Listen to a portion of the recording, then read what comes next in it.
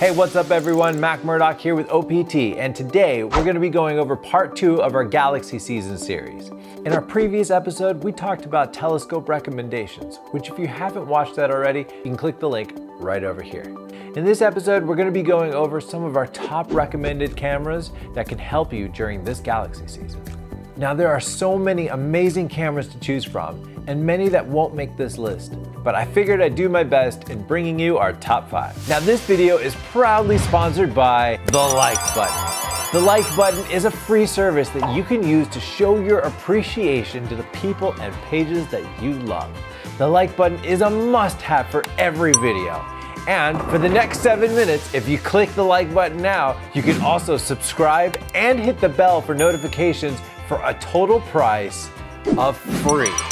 So act now, like, subscribe, and hit the bell for notifications, and don't miss out on this amazing opportunity. So let's get into some camera basics. So the first thing you want to think about is whether you want to shoot in mono, which is black and white, or a one-shot color, which is your normal color camera.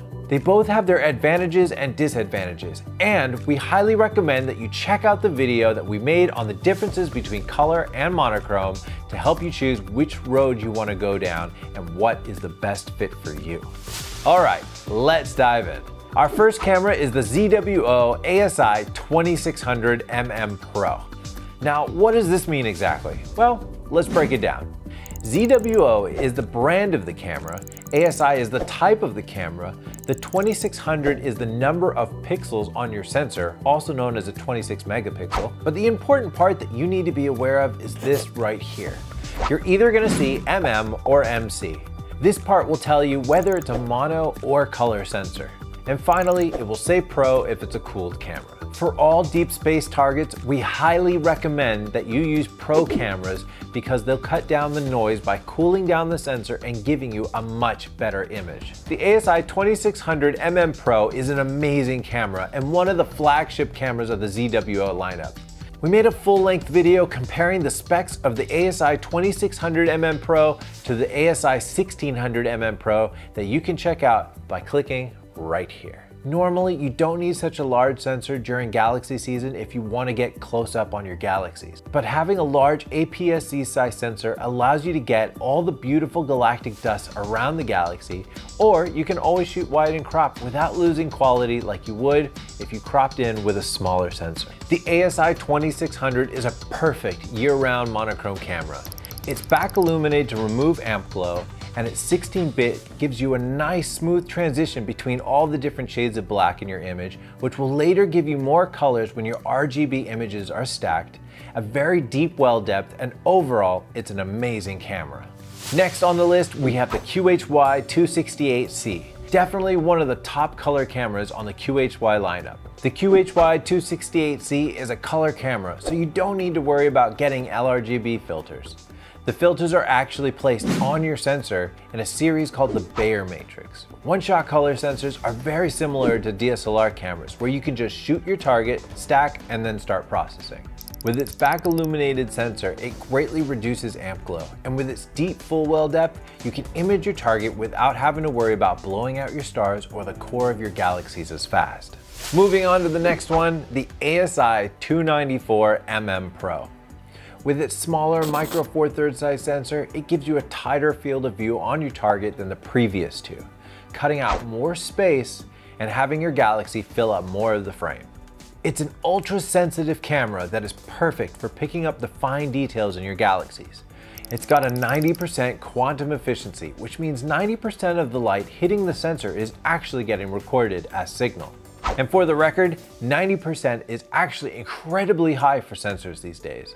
Its 14-bit, 12 megapixel back illuminated sensor is definitely one of the top sensors out there these days. This camera comes in both color and mono, so it's definitely worth considering. Fourth on the list, we have the ZWO ASI 533 MC Pro.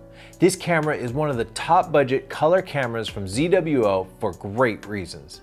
Its small 3.8 micron pixel size gives you a nice fine resolution for your images while still being big enough to be sensitive to light. The ASI 533 MC Pro has a slightly different sensor than the rest due to its 1 inch square pixel. This way, you never need to worry about whether your image is in portrait or landscape. It picks up 14 bits of data, giving you a great array of colors in your image as well. Then, when it's not galaxy season, pop in your Triad Ultra and get some epic narrowband images of your favorite nebulas. This camera is one of the least expensive pro cameras in the ZWO lineup, making it perfect for those that want to get started with a dedicated astro camera without breaking the bank. Speaking of the Radiant Triad Ultra filter, with these color cameras, you're going to be picking up a fair amount of light pollution depending on where you live. And you might want to try and cut some of that out before it hits your sensor. So check out the Optolong series filters. Filters like the L Pro are perfect for cutting out light pollution for broadband targets like galaxies. That being said, the honest truth is, while these filters can definitely help, there's no substitute for dark skies during galaxy season. Fifth and final, we have the QHY 183. This camera packs a punch. It comes with a built-in dew heater to make sure that your sensor stays condensation free during the cold nights. The QHY183 also has a 20 megapixel back illuminated color sensor with a small 2.7 micron pixel size. So you get the amp glow protection, but you also get the fine resolution of a small pixel. This camera also gets a pretty high frame rate, which is perfect for lunar and planetary photography. Overall, this camera is well-rounded, will take you very far in this hobby, and will not disappoint. I'd like to throw in an honorable mention, a DSLR or mirrorless camera. Getting a dedicated astronomy camera is definitely an upgrade from your standard DSLR, but don't let that stop you if that's all you got. Some of the most amazing images have been taken on a DSLR. It's how a lot of people get started with deep space. Just make sure that you get the right T adapter for your camera so you can connect it to your telescope. If you'd like to learn more on the differences between the DSLR and the dedicated Astro camera, click the link right over here. Anyways, that about wraps us up. I hope you enjoyed watching this and you learned something fun.